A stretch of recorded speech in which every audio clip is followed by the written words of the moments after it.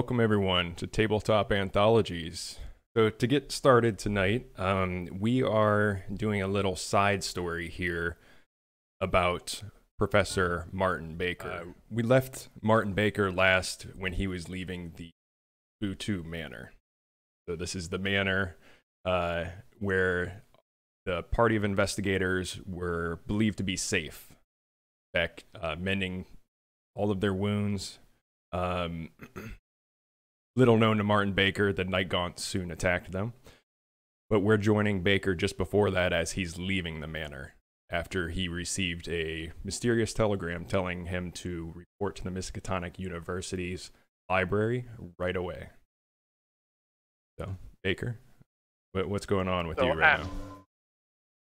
Well, considering that I was one of the few that weren't really wounded eh, during that warehouse raid, I uh, snatched that telegram after I heard my name was on it, read it very quickly, handed it back to um, my fellow professor, and uh, immediately ran out. As I'm as I'm going out, I'm I'm just I'm still kind of confused, um, not by what was on the message, but by the Butus.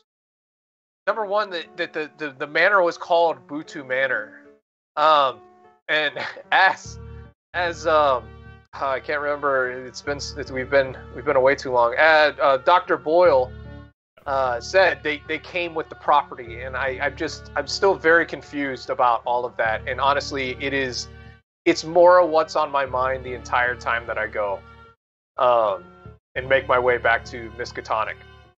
Right. It's uh, pretty obvious that there's some sort of cult mythos influence there. Um, so you make your way back to the university, no issues at all. It's it's the middle of the night right now. A cool air going through your window as you're driving to the university, and you get there walking across campus. Clear night sky above you,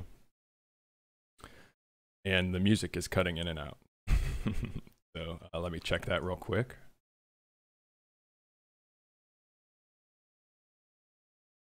Um, so while I'm doing that, yeah, it uh, always Professor, does that. Professor Baker. Oh, really? Uh, Professor Baker, you are walking across the university campus, as I said, and approach the Orne Library, which is the Miskatonic University's library. The front of it is uh, kind of a Victorian touch to it, large oak doors at the front. What do you do? Uh, well, it's the middle of the night. Um, I'm not sure if this campus keeps their library open at all hours. Um, I would check the door. Um, I've been, aside from thinking about the Butus, which honestly, it really cannot get out of my mind. Um, I'd be keeping a watch out. Um, this is we we just ran into some very nasty things, and um, I'd I'd keep that in mind as I go. Uh, but after I arrived to the library, I would just give the door a go. All right, and it is open. There's one single light that you can see all the way across the front entrance, this front lobby. You know, there's desks up front where uh, there'd be some attendants and things, and you can see all the book stacks that are available to uh, students and the public. And all the way in the back there is a set of stairs behind these rows of books with a single light there. Dark everywhere else. Is that uh, area anywhere near the restricted section? You know that it leads up, those stairs lead up to the offices, and that is where um, Dr. Henry Armitage's office is. Then that's where we'll head. All right. And for everyone who's tuning in, Dr. Henry Armitage, he is the head librarian at Miskatonic University. He appears in quite a few um, Lovecraft books. So you, uh, Martin Baker, is walking back through these rows of books. Very dark in here. A lot of shadows cast from that single light on the steps. As you get closer, you see at the top of the steps, there's a figure up there, a very, very large figure. You continue or do anything else? Um, I would, I so I'm standing at the bottom of the stairs. You said. Yes. Yeah, And you're I, coming through those rows of and I'm seeing bookshelves, and large figure. yes, Mhm. at least seven feet tall, from what you can tell. At least seven feet tall. Is is Doctor Armitage known to be a Dr. rather Armitage tall man? is uh no, he's a he's a short, rather old man. I would uh, I would call out. Uh, excuse excuse me there. Uh, is Doctor Armitage up there? The figure starts coming down the stairs, and you see that it's a woman of immense proportions. As I said, standing Stu- at least seven feet tall. Her musculature is barely Oh. concealed by the well tailored suit that she's wearing. And uh, she stops about halfway down the stairs and just motions for you to come up the stairs. I, I I would I would be dumbstruck for just a moment. Uh, being a you know a, a warrior myself, seeing warrior women has a has that kind of an effect. Um, You're sure that her I would- fist would be the I was- size of your head. No but that's cool, man. Whatever. Hey, man. To each each their own. Okay. yeah. Just let me be. All right. Jeez. so what does Professor Baker do I- after he I- uh, snaps out of that? I I would. Oh, ex, excuse me, lovely lady. I uh, I I don't think I've ever seen you around here before. Um, you'll you'll have to forgive me. I I was I've never been so struck by a woman of your grace. Uh, my name is Martin Baker. How are you? She doesn't react. Kind of stares at you blankly. Waits to see what you're gonna do for a second, and then turns around and starts walking back up the steps. I watch her walk up the steps, and then uh, Roll a spot hidden. I, I, I guess. Ooh. Oh no! All right, let me pop that chat up. I don't there. know. Uh, uh, here we go. Nice, close. Barely, barely. But uh, what what Professor Baker realizes is, uh, as she starts to turn and walk away, and you're taking a closer look at her, I guess. Her flesh is reminiscent of pale alabaster, unnaturally smooth.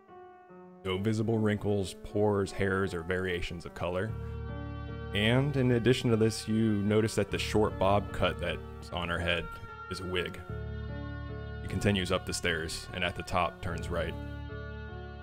so you're, you're telling me that she she wouldn't like badmouth me or talk down to me. She's just she's just kind of statuesque a little bit, right? This is like the perfect woman. Uh, yeah. So I would I I'd kind of this would obviously push its way out of uh, or push the Butu out of my head just a little bit. Um, I'd follow her up then and. Uh, I'd still I'd still try to chat chat at her a little bit to see if I could get her to talk, um, or it or whatever she might be. Because I'm I am I'm a fairly large man myself. I mean I'm not quite the Boyle large. What what's Boyle's strength? I can't remember off the top of my head. Uh, Um, we should remember he said it so much. I know. Maybe he's in but chat I am he can I tell am us. size sized up 65. See, I'm 70 and I'm 70 on size, so I, I'm not a small man. You know, I'm a I'm a I'm a, I'm a muscular kind of guy. Um, so you know, just kind of like try to catch up with her a little bit and like look a little bit, see if I could kind of squint at those pores, you know, like that or the lack thereof, and say, well, where where have you been hiding? I haven't seen you before. he still doesn't react, and you're you're able to catch up her up to her just fine. With her um you know thudding booms from her footsteps are easy to find down the hallway there.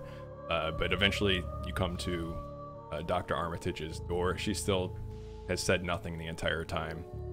She stands next to the door, looks at you, looks at the door, and nods. So I would I would look at her and I'd kind of sly smile just a little bit, like, "Woman, a few words, huh? Okay, well, um, hopefully I'll see you around here. Uh, but uh, thank you for the escort over here." And then I would uh, knock politely on the door.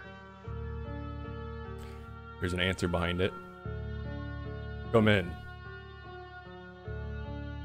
Open up the door, walk in, and I'm kind of now things are changing a little bit, right? And straightening it up, straightening up my vest, kind of making sure I don't have blood all over me or anything. Um, just my glasses. You know, I don't have the the luxurious Sev stash, but um, you know my character does. So I adjust that very quickly and kind of you know suck in my gut a little bit, straighten up the back. So as I walk in. All right, and when you walk in, the door opens, unlocked, and behind the desk is definitely not Dr. Armitage. Instead, there's a slender, dark skinned man with a serious, clean shaven face and short hair starting to show patches of gray. And I would go like this Come at the in. door. Come Really in, Mr. to- Mr. Baker. I do one of these at the door to make sure that it says Dr. Armitage on the door. Uh, does it? Yeah, it does, yes. Okay. Um. uh, yes, yes, I am, uh, Professor Baker. Uh, you, you'll forgive me. My uh, there there is no doctorate for the the, the work that I do, but um, I don't believe you and I have met either. This has been a very interesting night. Uh, who, and who are you? I am Albert Rigardi. I'm sure you have many questions. Why don't you please come in and have a seat? Okay. I, well, I appreciate the, uh, the the the gesture. I will do so. So I sit down and kind of have my back back a little erect, kind of like I, I'm. There's definitely a different feeling now. Before I was going in to try and muster every ounce of professionalism that I possibly could, and with respect to uh, Dr. Armitage, but now this stranger's in here, so I'm, I'm a little bit more on the alert side. This is more of a uh, spring that's been compressed versus a you know a, a gentleman that's coming in and trying to be you know um, impressive to another person. Okay. So he waits for you to sit down before he continues speaking. Professor Baker, as I said, I'm sure you have many questions, and I'm here to answer all of those. I want to assure you that um, your colleagues have the information they need to carry on with what they're doing tonight. And you're curious about myself, for lack of better words, I am Dr. Armitage's assistant. He's currently out on an expedition and has asked me to pull you in and have a discussion. Very good. Um, But I- first, I- uh, Professor please. Baker, I'm sorry to interrupt you, but let me tell you a little bit of a story about a battalion of American soldiers in France. You see, we came to have knowledge of a, a cult operating in a certain region of France. Won't bore you with the details. However, they succeeded in accomplishing task that uh, most men wouldn't believe possible. They summoned forth, summoned forth a, a being from another. Shuffling out of the darkness that they opened was the blasphemous thing, not wholly ape and not wholly insect. Professor Baker, I think you can tell me about that that creature Because we've done some digging and it turns out you were one of the survivors. well, I, I, think you might have your, your stories mixed up then because you said American soldiers, correct? Um, I wasn't a soldier. I was a Marine. Of course, of course. I, I apologize for the uh, the misuse of terminology. I, I understand. I. It's very interesting that you you hear that story as uh, one of the uh, the only people that supposedly, supposedly exited this place after that happened. Um, you think there's very few people who would know about that? Well, I believe we can drop all facades here. And as I said, I've been watching you for quite some time now, since you came to this university. I was assigned to do so by Dr. Armitage. As I said, he was on an expedition currently, and such expeditions lead to information about such cults and their goings on. And now, what I Well- ask of you, Professor Baker, is to allow us to take in the journal that you have, that tome that you procured from that ritual. And I'm sure you are expecting something in return. So, with that, I, we will allow you to have access to the secret library here. So we're we're we you say we are we're dropping all pretenses, Of course. correct? Then uh, then I I would be remiss if I didn't drop all pretexts with you. Um, I know what's in that journal. I know what it can be used for. It's I seen the things that came out of the portal that was opened by those people, and it's my life now to ensure that I stop whatever small flow of this malevolent things that I can. I know it's like a, you know stopping a single drop of water in an ocean of you know death, but it's something. And so that means that I know what's in this book. I know what it can be used for. And if it's used for that, I would be coming for those who used it. Do you catch my drift, or do I need to be a little bit more plain? Of course, Professor Baker, your your point has been made. And please understand that we wish to work with you and our goals are the one and the same.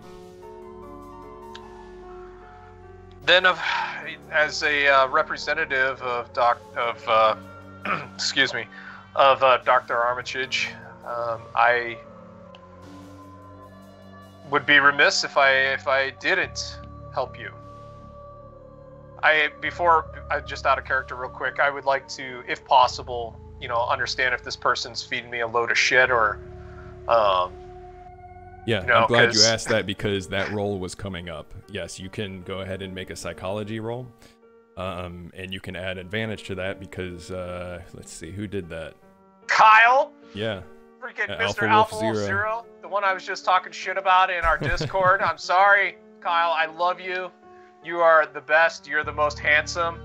Um, you uh, you light up my life. You are the wind beneath my wings. Um, I don't I don't know what else. I wish I, I'm going to find you and cut off your face and wear it because you're so handsome.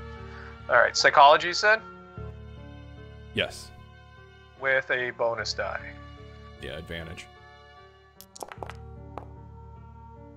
Oh fuck you! Did you roll advantage on that? Yeah, I did. Oh yeah, it did. Okay, it yeah. didn't show me All right. Uh, oh, by the way, you got the roll thing up. I wanna I wanna push that if I can. yeah, Wait, yeah, you can is this push aliens? yeah, I'll push it. Yeah. Do I have just, to take a stress? just realize, um, no, no stress. Just realize before you roll it that um, in this sort of situation, because there's no real immediate threat here for me to kind of turn on you if the, the roll goes bad. What will happen is um, most likely he'll realize that you're examining him here. That's fine. I want him to know. I want him to know. Um, I figured whatever if I if I fail this again, I'm just going to be like, yeah, man, here's the book. Let me tell you, here's my transcriptions of it in Latin. You know, like, so. Yeah. Ooh, nice. All right. Um, Thanks, Kyle. So he was not lying as far as you can tell about um, when he said that your goals are the same. However, you feel like there is maybe a little bit that he's holding back, and some of it he might have been getting towards telling you, though. Okay. Well then, um, I would uh, definitely prompt him and say, well, if uh, sorry, one second. Was it was it Mr. or Doctor Regarde? Apologies. He just called himself Albert Regarde. That's what I'm asking him. I'm asking him. Is it is it Doctor? Oh, or in Mr. character again. Sorry. Sorry, sorry. I go by many titles, but you are free to call me Albert. Please call me Martin. Um, I, I uh, I believe that we are working towards the same goal. Do you? I feel like you have more to tell me though. Yes, with all of this and your access to the library, there is a condition. These expeditions require people. Certain types of people, and I'm sure you understand why. Yes. We would expect Yes, you to be dispatched, in a sense, to uh, various locations under Dr. Armitage. And you are free to assemble your own team. I would, in fact, expect you to, to, to do so. From what I understand, you have a few colleagues that are informed as we are. Yes, that is that is that is the case, um, and I, I completely understand the the set of conditions and why there are people that are necessary uh, that have a certain ability, and I imagine the reason why I was picked for this is because of my past and the ability to actually follow orders and take command. So um, I completely understand, and I do have several. Um, compatriots that would be good for these types of things. I'm, I'm actually hoping that um, a friend of mine uh, who's done a little bit of private eye work might show up here soon again. I know that the, the university uh, has called on him a time or two, so hopefully he can join us again. Very well. It sounds like you have your team assembled already. Is there any further questions you would like to ask me before we proceed? And I'd like to point out at this point that um, because of that psychology roll you did, Mhm. it was very good. And like I said, it felt like there was something he was going to tell you, but you do still feel like there's some things he's holding back. But um, you have you intuitively feel that he won't ex- elaborate on. There's something you know of this magnitude. He he probably needs to get your trust a little. Of course, feel free, free to try. Right. Um, so I would I would say I'd kind of lean back a little bit and I- I'm relaxing a little bit, although I glance over my shoulder to see if the alabaster woman's coming to break my neck or not. Um, and uh, I mean, if, if you gotta go, you know, that's the way. But uh, I would I would ask him. Do you know? You, you seem to have knowledge, as an understatement. Um, do you know what's going on down at the meatpacking plant here? know that there is an amateur magician there draining the blood of Yibb-Tstll. Uh, this is what is known as the Black. I'm sure you're familiar with it by now. The name, the name, the black is familiar. The name Yibb-Tstll also rings a bell, but I I don't know anything beyond that. It's it has something to do with these otherworldly beings. Other than that, I don't know anything about him, or her, or it, or whatever. I would say it's uh, not worth the time to try and apply gender to such things. However, can read much more about you still in the library. One of many beings among us.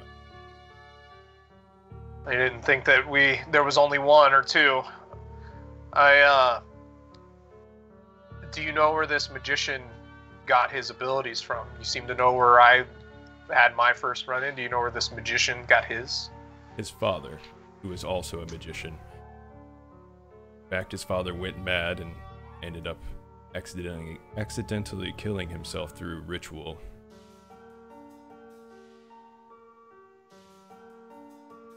Is anything being done about this?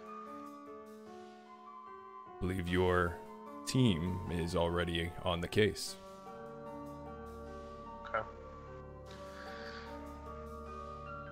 So you say magician. I I have learned to use a series of words that I learned in one of the books.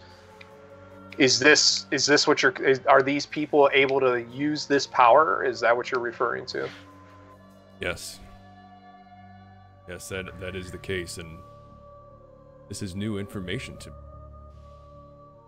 Used such abilities? I did. Inside of that meat packing plant, it was the first time that I tried to use it in anger. It's That very is- difficult to control. That is truly remarkable. Incredibly risky.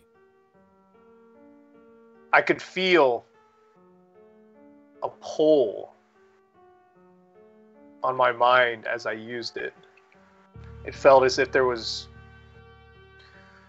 as if there was tendrils reaching into my mind as I used the power to basically almost fuel it. It was very strange and then it felt as if I was using my own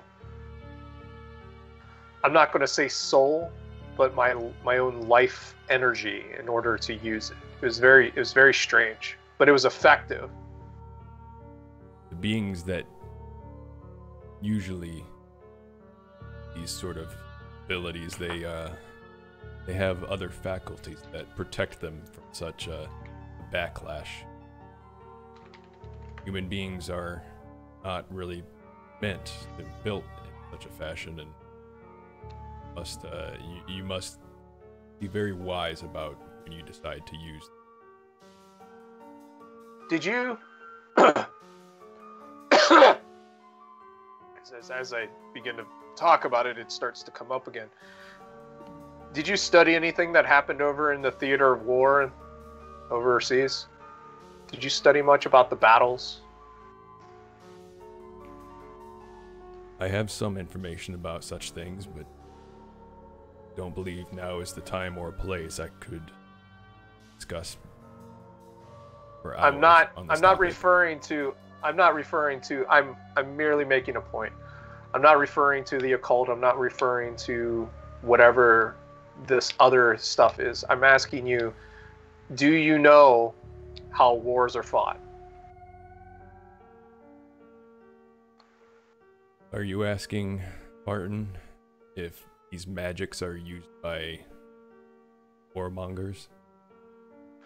No, I'm telling you that while I was over there, there was a place uh, called Yper, Belgium, or Ypres, Belgium, depending on what your accent you're using. The the Germans released a green gas that flooded over the trenches and suffocated those who were inside of it. They had no idea what to do about it. And then it evolved from there. I was attacked with an agent that they call mustard. I, I'm racked by coughs. I it, it hurts to breathe. Both sides use it. When one side uses it, the other side uses it. If these creatures are able to use this type of power, then it's up to us, those who can step forth and do battle with them, to use the power as well. Glad that we agree on this subject.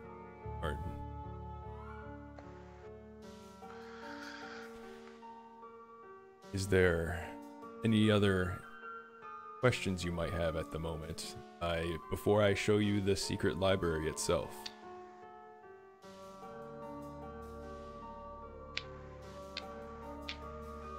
I'm I'm starting to get a little excited to see the library, but I do have one more question. Your uh, your friend out there, where did you find her?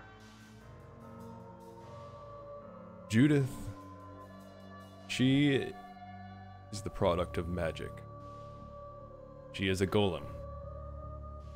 Are you familiar with the term? The the created beings, I believe, by the Jews, if I recall correctly. Um, that was their their term that they used for um, constructs that they would make to protect their people in their sacred places. that is exactly correct. It is a construct created Jewish people. That's that's that's a shame. Not not for not for. Sorry, uh, Martin wouldn't be laughing. I just hold on. I need a second. Oh, the jokes too inappropriate to stream. yeah. Sorry. Um, I, I Martin would nod his head and um. I, I'd say and would say, well, that's that's a shame that she's not a, a living person because Wow. Anyways, um, it's it's interesting to know that there are others out there that can use these powers. I've only seen these powers used for evil purposes. It is both comforting and terrifying to know that others this, as you've seen, can go in a horrifying direction and warp the mind. Then it's up to us to stop those individuals with the same. I agree. And with that, he stands up and he, he waves for Judith to come in. Uh, and he goes to a bookshelf nearby and pulls out a book, and behind it, reaches and pulls on a lever. The bookshelf swings open and reveals a set of stairs that he begins to walk down. Judith waits for you to step down there. So I would I would step forth and I'd, I'd look to Judith and be like, "We could have been special. We could have been something." And then I would hu- hurry up and mosey on down. All right. Um, so Judith steps in behind you and closes the shelf, follows you down. Ooh. at the bottom of the steps, and these steps are quite long. You're sure that you went below the library. You eventually come to a very large vault door in a rather small room. The entire wall in front of you is this vault covered in all sorts of sigils and runes that a lot of them you've never seen before. You stare at some of them long enough, they might hurt your eyes a little bit or appear to give off a faint glow. Albert walks up to the, the vault door and puts in a certain combination with the uh, the lock there. Also pulls out a key on a second door behind that vault door, unlocks that before opening it and stepping through. Assuming Martin is quick to follow. Oh oh yeah, we didn't we didn't come all this way for nothing. And of course, there's also candelabra on either side of the, the small room that you're in. They're lit, but they don't Oh, seem to actually be giving off any heat. I would So- I would I would do the the this thing. Right? You got the Yeah, there, there's no heat coming off of them. So. huh. Yeah. Interesting. so you continue into into this vault, and inside it opens up quite a bit. It's not as vast as the library upstairs, but it's much more impressive. The things sitting on these shelves are just ancient, and it's it's everything you've been looking for as far as your seems. There's a num- there's a series of nice wood tables in the in the middle of all of these bookshelves. Very well kept in here. A lot of there's relics or books are in glass enclosures. Those that are uh, really prone to. Albert Did they have the stands there and just they're waves his, his hand. they're kind of covered and have the the tweezers to be able to open them like that kind of like Yeah. that. museum exhibit sort of stuff for yeah the more fragile ones. Uh, and Albert stands there and kind of waits to see your reaction as you're standing in the middle of the Miskatonic University's secret library. So I would I would be looking around and I would definitely be dumbstruck. I would close my eyes for a minute and take in a deep breath to just smell that there you can feel the power there. And I would stop and I would think for a minute. And I would nod my head and I would open up my eyes and, and say aloud that it is right that this place is so guarded and not everyone's allowed here. Albert nods. Of course, that is absolutely. The amount of power contained here is rather staggering. And also, as you looked around the room, you noticed that the at the corners of all of the walls there heavy, very heavy gauge metal stripping. This is a very secure vault, and all of the metal everywhere you can see has all sorts of sigils and inscribed on it. And that's really the main things I wanted to get through. There. So, if you've got nothing, if there's anything else, you can continue to talk to Albert if you'd like, or, or look around. That's completely fine. Um, otherwise, we can talk No, a little I- bit about downtime and, and what Martin does before the sitting tomorrow. Yeah, absolutely. Um, I I wouldn't want to bother Albert too much. Um, I'd be making some mental notes in my head to, to continue to try and talk with him as time goes by. Um, and I would I would begin perusing immediately. Um, I'd stay away from the relics, uh, just because I don't know what touching them would cause and what they can do, and I'm definitely not going to be able to walk out with one of those. Um, but the the books, the books would be of interest. Um, in particular, anything that I can end up getting a hold of that's been translated into Latin, or you know, obviously very, very nice would be English, but Latin is a second language that I know. So Okay. Um, and is there any certain, I guess, key terms or, or ideas that uh, Martin searching for? Well, so I think I think to begin with, one of the things I would be doing is just kind of walking around the area and looking at the sigils that are there for protection, right? Because Martin believes, you know, after using that power to kind of try and be offensive with it, I, I think that, and it didn't go wonderfully, right? Hitting those things with uh, a trench club and shooting them and lighting them on fire seems to be good. Um, granted, that won't work against Cthulhu, but we don't know that right now.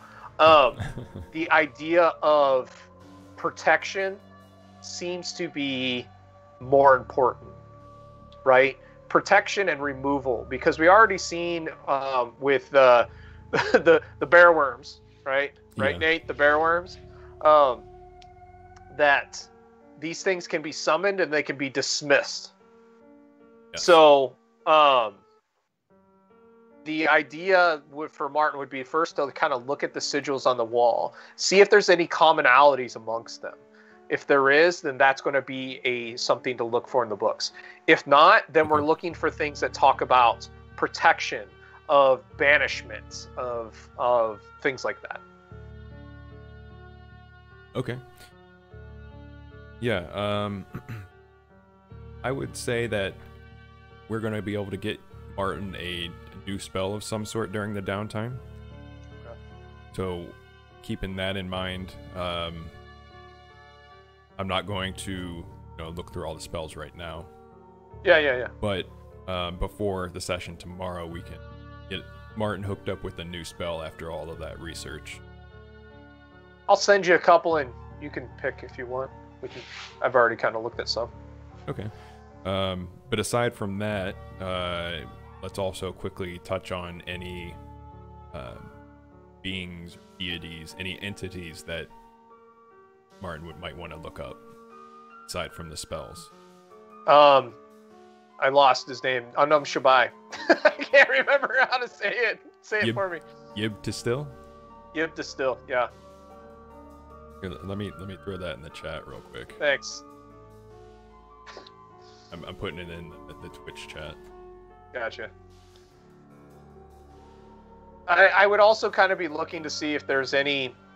I, I guess whenever I'm looking for this stuff is names. Oh, my spell was wearing off. Uh, any any names that are common. So, you know, like if we're starting to see Azathoth a lot, you know, like that would be kind of trying trying to improve that mythos knowledge a little bit and Yeah. understand the beings that are out there. Okay. Um, so yeah, you you definitely find information about Yibb-Tstll. Um, let's see what what's a little bit that you learn here. So Yibb-Tstll seems to have some sort of domain over time and space. From what you've read, it appears that he has the ability to send objects or entities across time and space.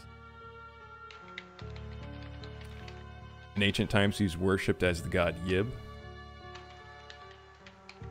And of course, you find a lot of information about the black, which is that same substance that the magician was um, uh, summoning up for that drug that was being sold.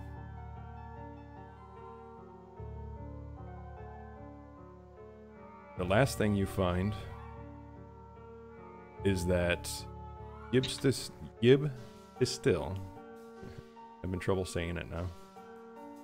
Seems to according to some sources exist in the jungle of Kled is in Earth's dreamland.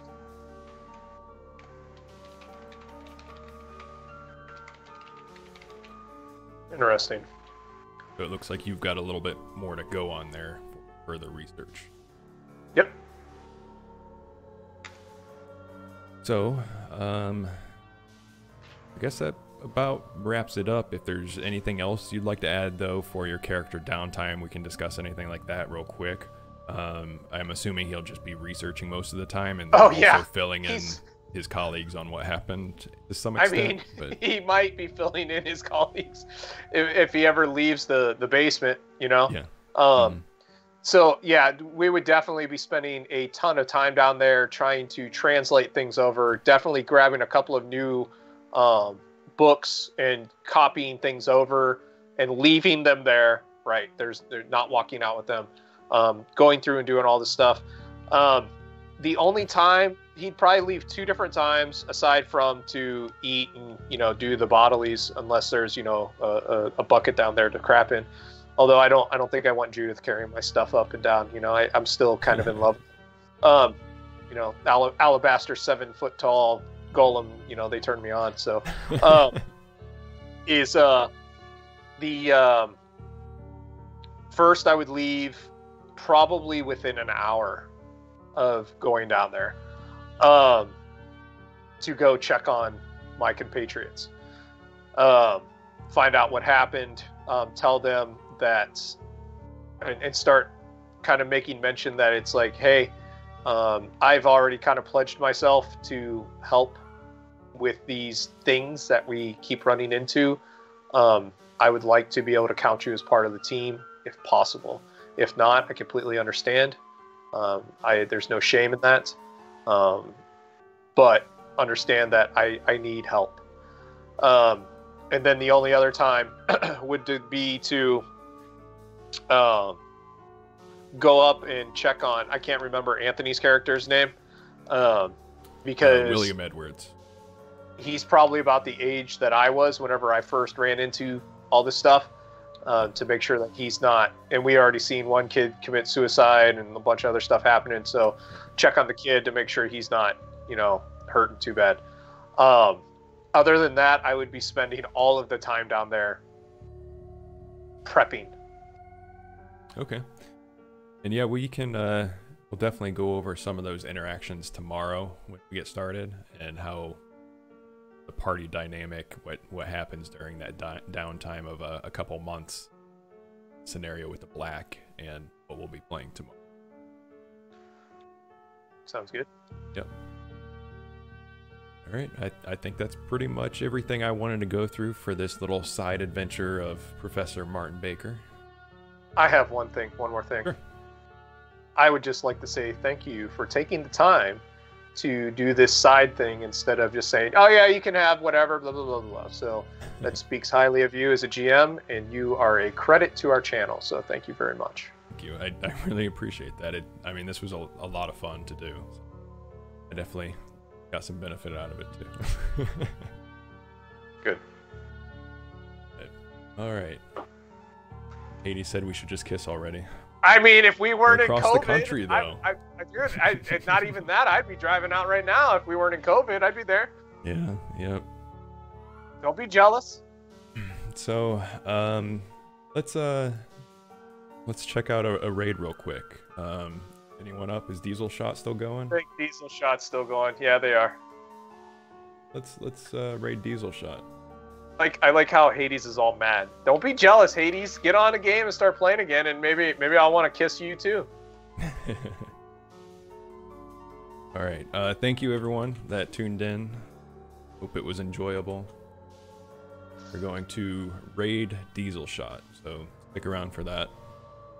Thanks again. See ya. You like to say anything? No, Bye. I love you. Bye. I love you, Hades.